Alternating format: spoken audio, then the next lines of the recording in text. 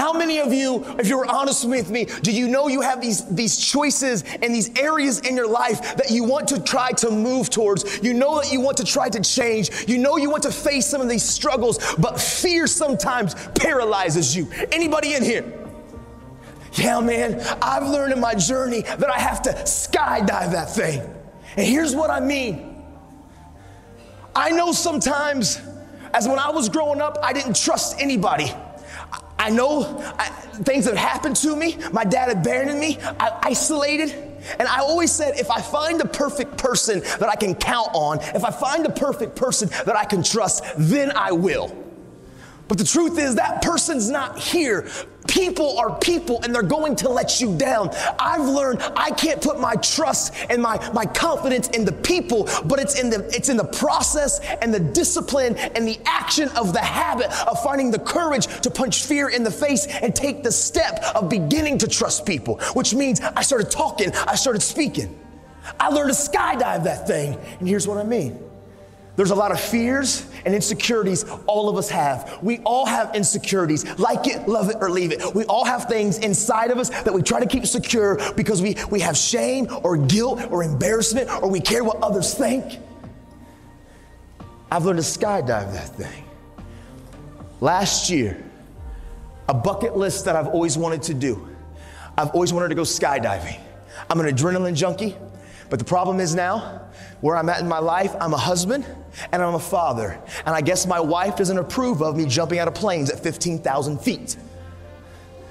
So I thought something that I've always wanted to do, I was never going to get the opportunity to do. But I was in Oregon and I got done early and I saw a sign and it said Skydive Oregon. And so I was like, yep.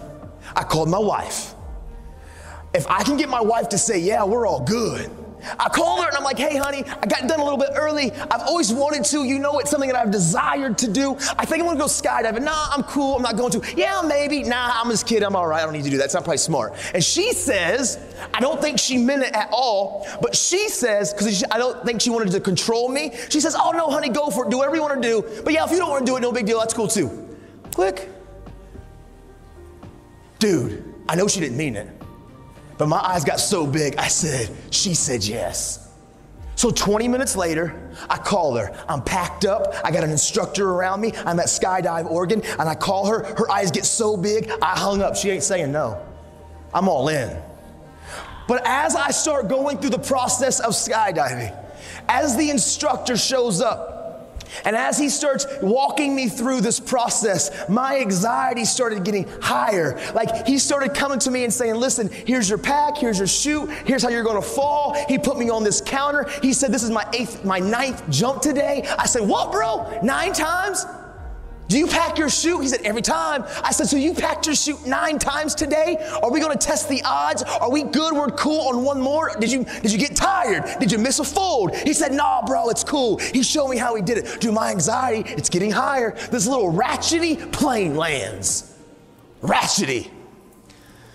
He said, All right, bro, let's get in. Whoa! He's from Oregon, so he's already kind of weird and a hippie. As we get into the plane, we start ascending. He slides in behind me. My anxiety is on 10. Just like some of you, when you want, you know you need to trust. You know that you, you want these areas in your life that you're insecure and you get to the edge and fear paralyzes you and anxiety gets higher. Dude, I was right there. I've always wanted to do this, but through the process, I was so uncomfortable. As we get to 13,000 feet, he said, listen, bro, we got six connectors. One, two, three, four, five, six. I'm gonna, I'm gonna connect this. I'm gonna hit all six three times. Do this. Woo, you're gonna do it. You know, I know, we're secure. Skydive Oregon. I'm like, huh. 13K. He pulls the door up. He says, listen, the free fall is only gonna be about 30 to 40 seconds. I want you to experience this moment. So we're gonna scoot to the door. We got 2,000 more feet of climbing. As we scoot to the door, and as we begin to get to that place, I want you, I want you just to lean out out of the plane. I'm holding on. And I'm like, no! He said, okay, now we're there. Here's the next piece that I want you to do. I want you to take the bottom of your feet and touch the bottom of the plane and hang there. I got you. And I'm like, no! Dude, I was terrified. In that plane, which was the safest place that I could have been, I've never felt more anxiety and fear in my life, even though I've always wanted to do it. But soon as I trusted the process, and soon as I trusted the community of those entrusted to help me learn to skydive, as soon as he got to that place at 15K and he said go, and I took that step, and we skydived that thing. All the anxiety, all the fear, it evaporated. As I free fell and I saw Mount Hood and Mount Rainier and Mount St. Helens, I've never felt more on top of the world.